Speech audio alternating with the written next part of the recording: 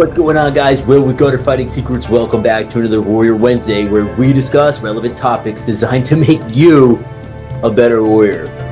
Today's going to be an interesting episode, so we're going to get into some practical, tactical stuff and philosophical stuff at the same time. Yeah, I was talking with somebody today, and they were telling me that they try to, they tend to um, be very conflict adverse. It's a fancy way of saying that they don't like conflict and a lot of the times they don't want to deal with issues in their life. Um, and they asked me, they said, "Well, look, you you clearly um, don't avoid conflict. You're clearly very comfortable with conflict." Um, and they wanted they wanted some advice, right? So I gave them the same advice that I literally give every single time I'm asked a question like this, and um, I explain it with like a military analogy. Bear with me. Let's say that we are walking in the woods, right? We're patrolling in the woods. Um, we've got some super cool, like, woodland camos on, right? That's very re- uh, retro. Like that, everyone likes the woodland these days. We're, we got woodland, right? Um, but better yet, we're super high speed. We've got MultiCams on high precision, high end stuff. Good shit. And uh, you know, we've got a bony cap, bony cap, bony cap, bony cap, whatever you want to call it. We've got those, right? And it's like it's sewn, like it's sewn so that you can still look through the the rifle optic. Like, what's his name? Uh recommended. And then everyone started doing it. um, oh, we've got like multi-hundred dollar tactical backpacks on, okay? And we've got our weapons at the low ready patrol. It's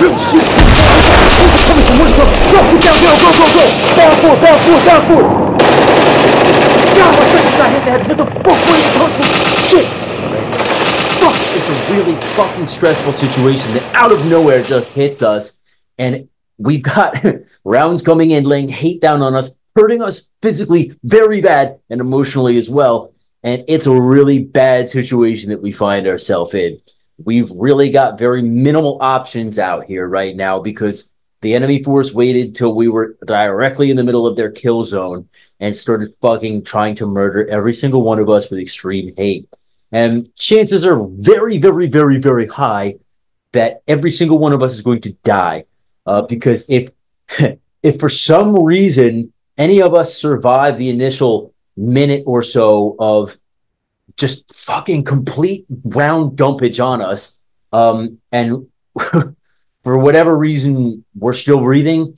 They're going to come and assault through us and stab us with bayonets or shoot us in the head afterwards. It's a bad situation. We have really no options here except one.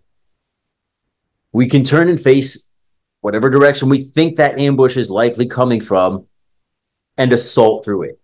If we have grenades, we can get close enough and throw grenades as we assault through it. We can shoot at them and run and bound forward, right? Um, we can we can try to use smoke as well to throw if it's an L-shaped ambush and screen some parts of us. We can try to, you know, have a, a one element, you know, flank while the other one bounce forward, whatever. There's there's a lot we can do, but it all involves trying to assault this ambush. The other thing we can do is try to retrograde and run away from it. But if it's a well laid ambush, we're not really going to be um, so lucky doing that. Either way, we're totally fucked. But in the first case, assaulting through it, it's possible that we might have a chance.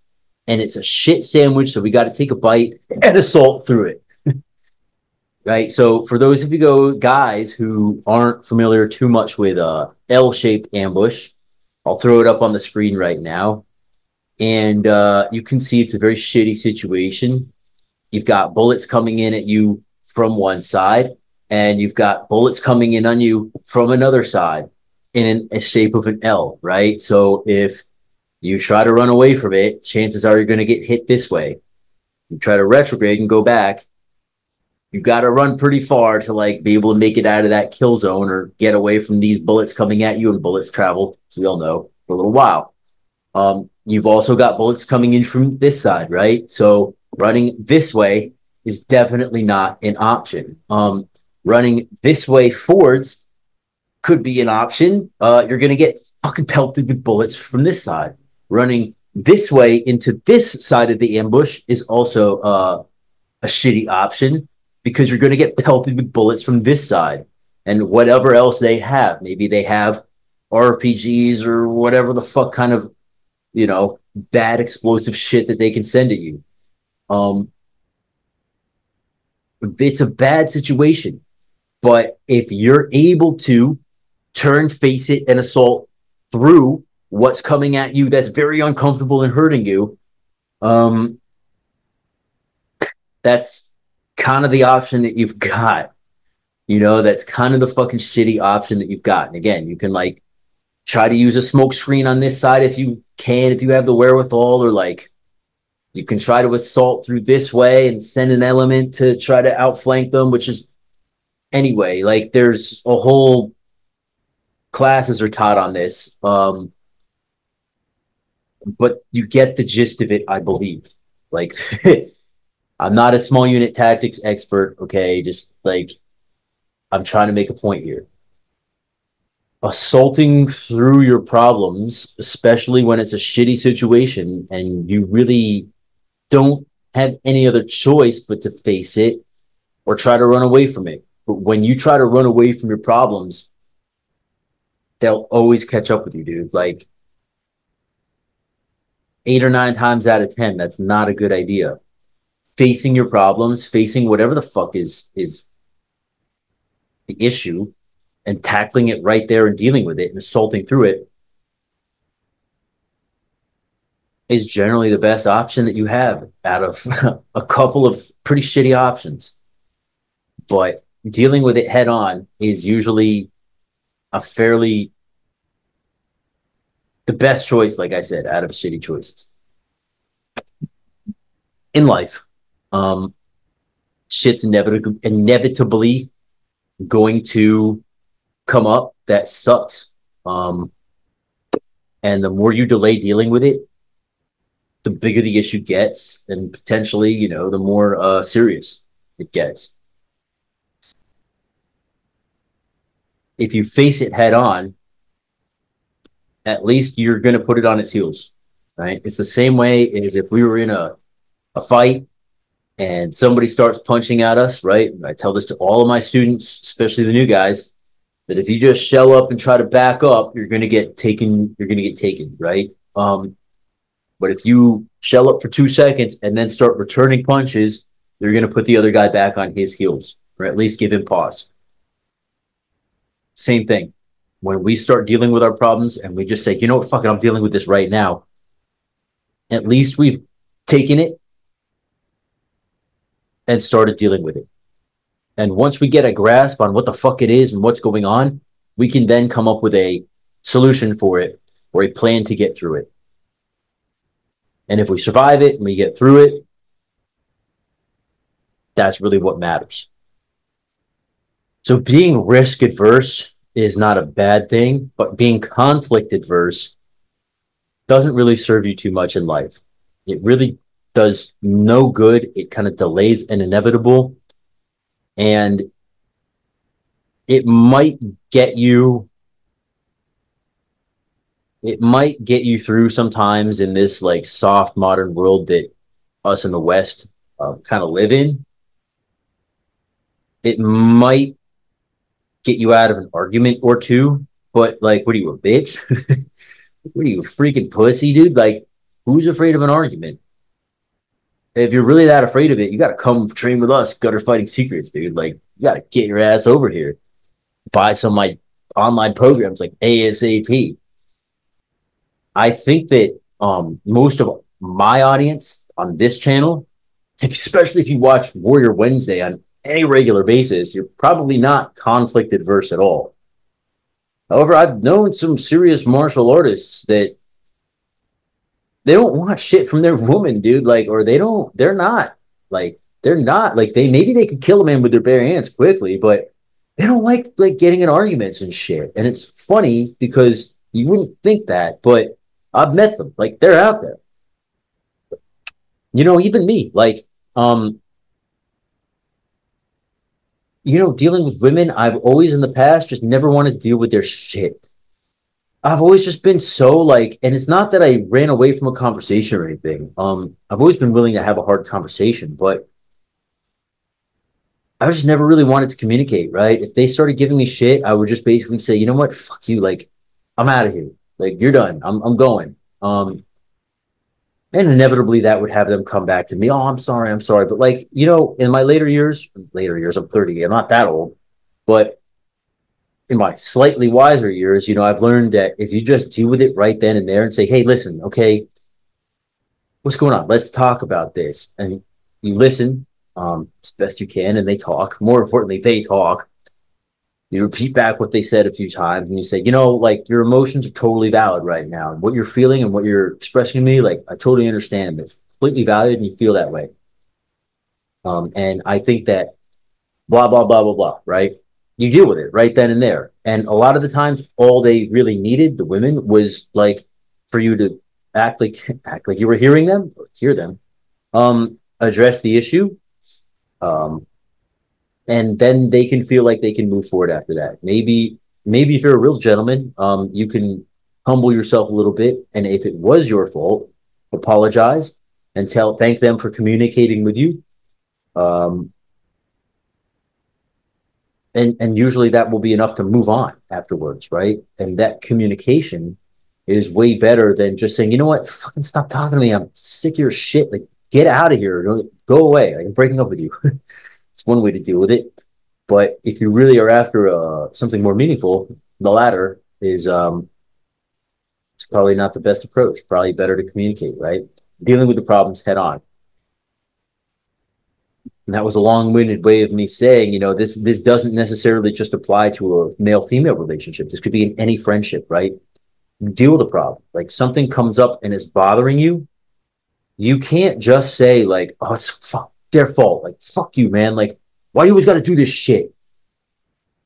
Well, he's always got to do this shit because you haven't told him or her that like it upsets you or like it you're like not you don't like when they do that, right? So it's not their fault, it's your fault because you never communicated with them. And you never communicated with them because you're conflict adverse. You don't want to make trouble. But if you had just said in the first place, you know, bro, when you do that shit, like I don't like it please don't do that shit anymore. Like, I'm going to draw a boundary right here, bro. Like, don't do that, whatever it is, right? Like, it kind of just pisses me off. And like, I like you, you're a solid dude. Like, when you do that, like, it just makes me feel a certain way. So please, like, don't do that no more. And if they're any type of rational individual, they'll say, oh shit, like, yo, my bad, dude. Like, I didn't mean to like piss you off. All good. Like, I won't do that shit anymore. Problem solved. Problem fucking solved, dude. Whereas, like, if you had just like observed the behavior and not said anything about it, whatever that behavior is, right? Maybe they're like, I don't know, maybe they're talking with your girlfriend a certain way or like whatever, right? Whatever. If you don't immediately deal with it and say, bro, like you don't do that, like I really don't, I don't, I don't appreciate that. Please don't do that. Like I respect you, but please don't do that. If you just like stuff it and don't say anything, like the next six or seven times they do it, finally one time you're gonna freak out and like it's gonna be a lot worse because you were fucking being conflict adverse. Don't do that. like, address it right then and there when it happens, deal with it, communicate about it, and move forward. Right. And this could be a coworker, this could be a whatever it is. If somebody's trying to take advantage of you or do something that you don't like, you need to tell them right away, like, hey, you know, dude, like when you're asking, like when you're asking me to help you with your workload over here, like it's been like fucking forever since I've worked in an office, but like, I don't know if I ever have, to be honest. But like when you're trying to like, you know, get this, like, get me to share your workload, dude. Like, I don't mind doing it one time, dude, but like, I can't keep doing this. Like, I got my own shit to do, bro. I appreciate you and I respect you, but like, don't keep putting this shit on me because it, it's not my department or whatever, right? Oh shit. I'm sorry. Well, I didn't, I didn't even think about it. I was just stressed out. But like, you're right. You're right, dude. Problem solved problem solved versus like like doing something for somebody over and over and over again and then finally one day you blow your fucking top and you're like fuck you. You're always trying to get me to do this shit da da da. And it ends up excuse me being a big thing and like ruining a friendship or a relationship or even costing you your job. So you want to avoid that at all costs. And we avoid that again by dealing with issues as they come up assaulting through them addressing them and moving forward so i really hope that maybe this has struck a bell with somebody out there. Maybe somebody needed to hear it. I don't know. But um, look, I care about you guys a lot. You guys who always comment and like give me the thumbs up and like are all supportive of my channel, our channel. I really appreciate it. And um, I'll always try to give you advice from kind of my heart and situations that I like face in life, right? Like again, tonight I was talking with this individual and they were telling me about this, and I thought, you know what, I might as well just share this with with the GFS crew because it's like it's a pretty common thing, and people like deal with this shit a lot. And you know, I'm again, I'm not like some old man giving life advice, but I am a I'm a guy who's dealt with some shit, and I can give you the advice that is coming from my heart, and I hope it helps somebody. So listen, until next time, please remember that you are your first and last line of defense. Check out all of our stuff at gutterfightingsecrets.com. Grab one of our direct download um, combative programs. They're freaking awesome and uh, they're a great value. And I really, I know that you'll, I know that you'll like it. Try one out. Um, let me know what you think. Gutterfightingsecrets.com is the website. All right. Until next time, mother flowers, stay safe.